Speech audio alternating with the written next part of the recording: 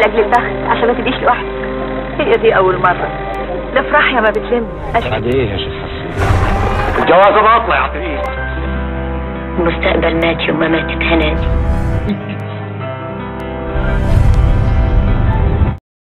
السلام عليكم ورحمة الله وبركاته. عاملين إيه يا ولاد؟ وحشتوني وحشتوني وحشتوني.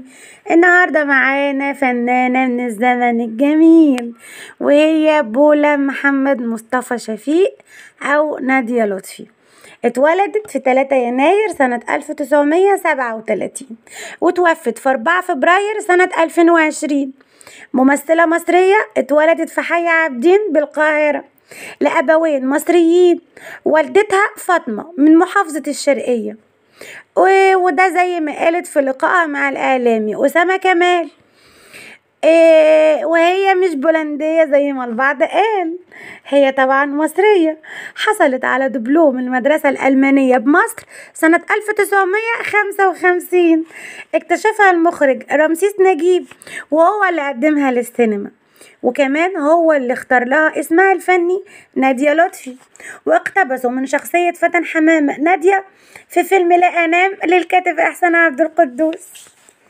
آه، ذكر الصحفي فوميل لبيب في مجلة السينما والمسرح في عدد إبريل سنة 1976 عن نادية لطفي إن هي فنانة لها بصمة. يعني بصمة واضحة في الرحمة مع أسر الشهداء سنة 1967 أيام النكسة طبعا ومع الجنود في الخنادق في حرب الاستنزاف ومع أبطال المعارك في حرب أكتوبر آه، وبعد كده مع البائسين من أهل الفن آه، وكمان كانت بتجمع لصندوق الفنانين اللي بتقدر عليه يعني. وكمان عملت آه، ضمن فريق المتطوعات في أعمال التمريض بمستشفى المعادي العسكري وده كان بعد حرب أكتوبر سنة 1973 حيث أقامت في القصر العيني لإسعاف الجرحى.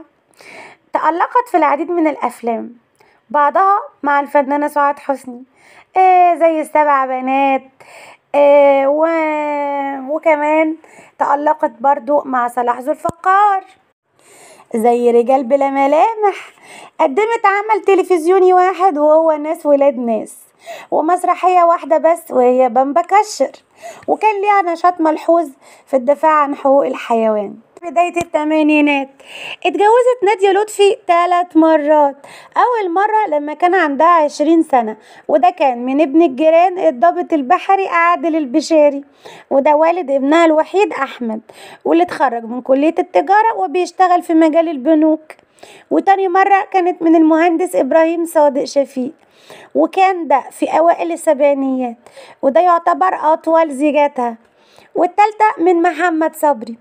أفلامها من أواخر الخمسينات والستينات آه كانت سلطان حب إلى الأبد حبي الوحيد عمالقة البحار السبع بنات إيه مع الذكريات نصف عذراء عودي يا أمي لا تطفئ الشمس الخطايا قاضي الغرام أيام بلا حب مذكرات تلميذة من غير ميعاد صراع الجبابرة جواز في خطر حياة عازب الناصر صلاح الدين النضارة السوداء سنوات الحب القاهرة في الليل حب لا أنسى الباحثة عن الحب دعني والدموع هارب من الحياة ثورة البنات شباب وحب ومرح للرجال فقط مدرس خصوصي المستحيل الخائنة مطلوب أرملة عدو المرأة الحياة حلوة قصر الشوق بنت شقية. السمان والخريف.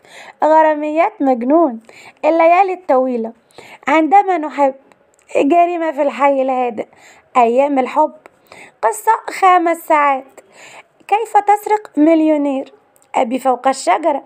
نشال رغم أنفه سكرتير ماما. المومياء. في السبعينيات بقى كانت أيام جميلة جدا.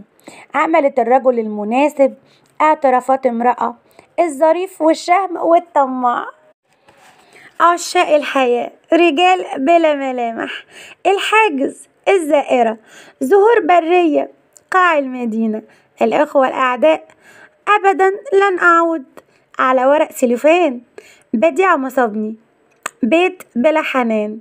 حبيبة غيري وسقطت في بحر العسل. الأقمر رحلة داخل امرأة. وراء الشمس.